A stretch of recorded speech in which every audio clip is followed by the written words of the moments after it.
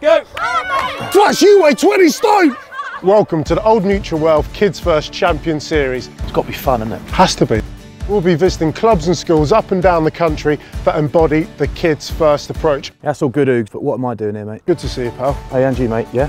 Oh, a bit awkward. Okay, let's go. get out. Good to see you, Flats. So you're a Bath legend, and these kids here have been doing a mad thing on your turf. West is best, Oogs, we always knew that. What they've done is they've offered their facilities to local clubs and other teams. Instead of it just being Prior Park Prep, it's actually open for all people who want to come and play rugby in Cricklade.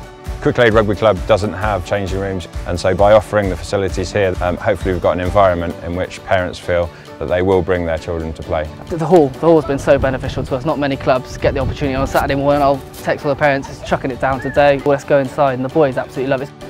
So, Oogs, what's the crack with this whole approach? Because all they said was turn up in your tracksuit and smile, and I can do that. The first thing is, is to create a great rugby environment. Got any cauliflower ears here yet? Not yet. Right, we can sort that out. And the second thing is simple, once again, it's just to keep the young players involved and to remain in the game.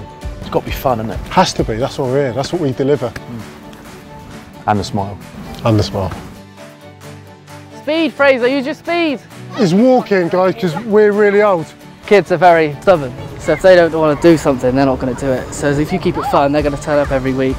Just don't mess it up, or it's no sweets for a month. I'll tell you what's important too is the coaches. Oh, 100%. Third important thing is to upskill the coaches. I've had a few coaches in the past. Wouldn't mind upskilling those a bit.